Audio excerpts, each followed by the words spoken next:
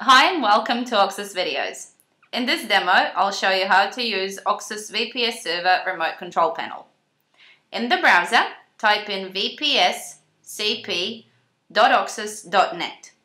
You'll need your IP address and password that you received in your activation email to log in.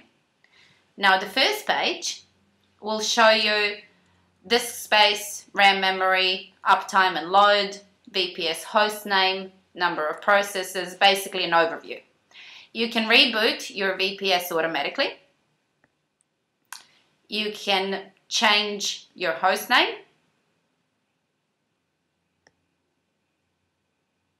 You can set up VPS monitoring and monitor your memory, load time, web server, mail server, and get notifications via email or SMS about possible downtime.